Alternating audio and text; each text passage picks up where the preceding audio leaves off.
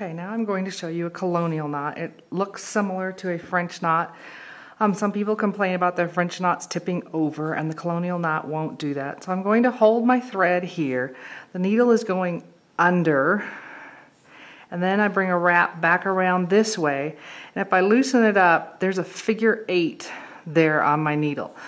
I'm going to pull it up taut and take the needle back down right next to where I came up and I'm going to hold on to that while I pull it down.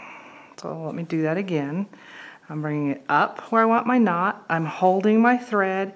I'm bringing the needle down. I'm going from left to right under the thread. And then I'm bringing the thread over the top of the needle and then back under it. And there's my figure eight. Going to put the needle down here. I'm going to pull the wraps up. And again. So let me do it again. I bring the needle up where I want my stitch. I'm holding the thread. I'm bringing the needle under the thread from left to right.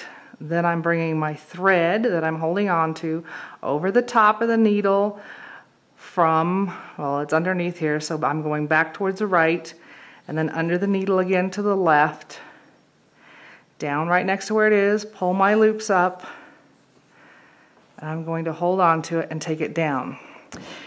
Now, if you want a bigger colonial knot, we're going to start it the same way, holding on to the thread, going under it from left to right, then I'm going back over it, and wrap it a second time if you want a bigger knot.